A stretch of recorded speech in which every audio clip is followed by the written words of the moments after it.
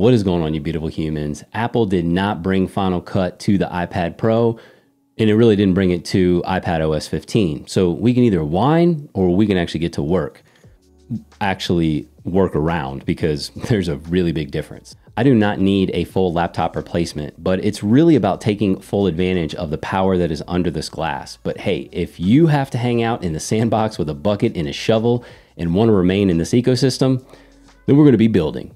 So let's actually talk some scenarios for this workflow because when we get into the actual workaround with LumaFusion and Final Cut, I have the walkthrough, but I've already done a video on the MacBook Air versus the M1 iPad Pro when it comes to the bang for your buck. And let's assume that we've already established that you want to utilize an iPad to cut video and you really you don't have to justify this this to me or anyone else.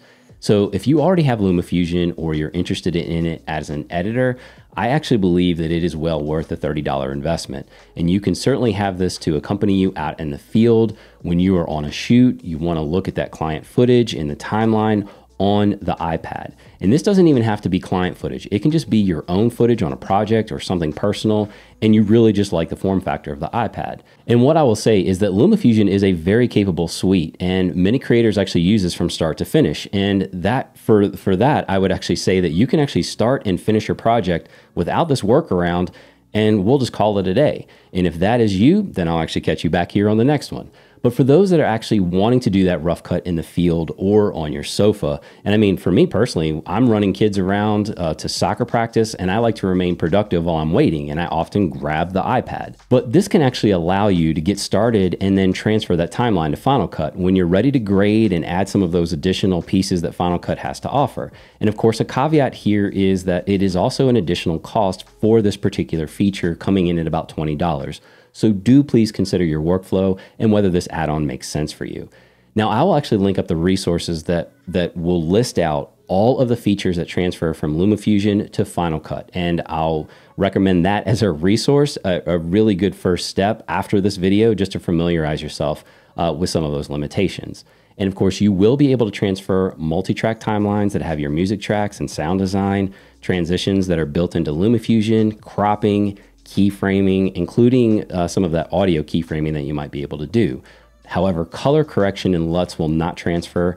And, and, and that's kind of a bummer because as stunning as the M1 iPad Pro screen is, I personally prefer to make those corrections on my monitor and with the scopes that I use for grading. And really, I wouldn't necessarily put titles and transitions anyway. I just really want a rough cut solution. So let's actually take a look at this timeline and I'll walk you through the process on how to do this. All right, starting off here, I have a timeline that you'll see. I've got some clips. So I have my bin over here with all of the media on the left. And I figured since people were somewhat kind of bummed about the Apple announcement, why not offer up uh, a pup? So this is a little pup. I mean, who doesn't like puppies? Come on, seriously. So this was a, a, a puppy that we had um, fostered during at the right at the beginning of the pandemic because they needed homes desperately. So we have this title here. I wouldn't normally do this. I would just rough cut, no transitions, but you'll kind of see here, we have some transitions. Lil Pup's playing with Stella, our, our dog. And then if we kind of scroll here, I also have that grid like I did in one of my other videos. So you'll see that. Another transition here. And then they're wrestling. And then even if we if we scroll past here, we've got some other text. And like I said, I wouldn't I wouldn't do that. Of course, that's Stella just smiling. And you'll also see, if we click on this, I have some, as you'll see with that audio, because sometimes I actually like to see, like have a beat drop on a cut or something like that. So I may want to make these uh, adjustments, keyframing, or whatever, you know, I'm kind of looking for. So that should actually transfer. So really not an editing tutorial. This is the workflow. So why don't we, oh, that's, that's pretty funny. All right, so why don't we go ahead and come down here, XML project package. Now, if you haven't paid for this, it will, it won't be, it'll ask you to, to purchase that. And then we're gonna go to other app or airdrop because I've got the mini behind me. So if I'm coming home, it's easier just to airdrop it. Now, one warning that you may get here is some items in your project uh, are not yet supported. And so just be mindful of that. That might pop up. I, I don't think we're going to have any issues here. That's why I really just recommend more of the rough cut, but certainly use that resource uh, on LumaTouch, their website, to uh, go into like what is what is compatible. Now, as far as the project settings, full media is everything that's over in the bin here. Oh, like all of that media on in that either we used or we didn't use. So even the media that you didn't use will transfer over. For me personally, I like to use the trimmed media. Trimmed media obviously lowers that um, footprint as far as the, the files concerned, all of the files you're going to get. And what it also does is, so everything in the timeline transfers, but it will give you about a two second buffer, two second handle on each side in case you want to stretch that out a little bit. And then of course, no relinkable media or no media. There, that's also an option, but I, I tend to go trimmed media. So what we'll do here is we'll call this LoPup YouTube test. And we are going to write that project.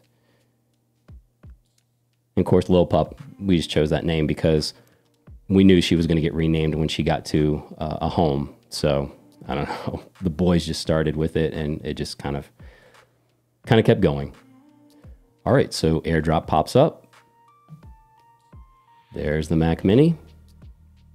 All right, so that's actually getting sent over. So I'll meet you over there and walk you through that process. All right, so we got the documents open here and you will see you will get a zip file. So we will go ahead and unzip that. And then you will see in that folder, you'll have the media from the timeline and those titles. So those become PNGs. So those become PNGs. So not something that you can edit, but at least if you needed that placeholder or whatever, uh, just so that you know. Now, what we're going to do is let's double click on that. And why don't we just go ahead and create a new library? So we'll just call this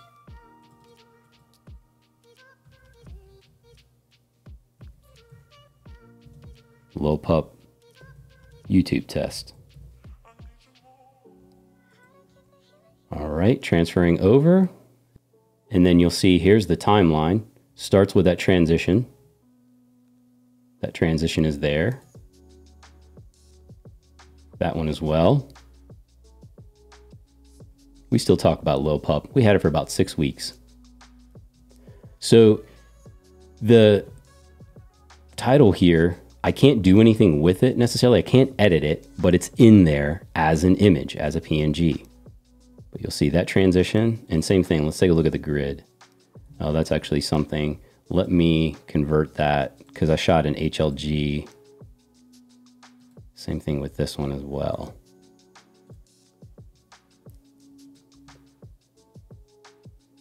But there's that grid. And you see the dogs playing.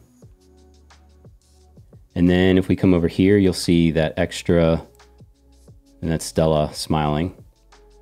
And then that transition.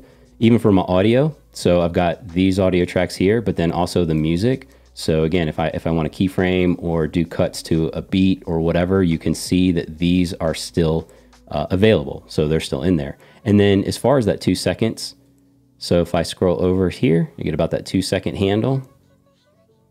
Same thing here, about two second handle. And then everything over here in, in my bin, so everything that I've used in the timeline, so nothing extra. All right, so there it is. Hang out with me in the comment section below or over there on Twitter. Listen, disappointment is poison that you shouldn't drink, especially when you can't control the narrative. So make a decision, pivot where you need to, go out there and do those things that matter. I am sending you all my very best. Keep rocking those faces, and I'll catch you right back here on the next one.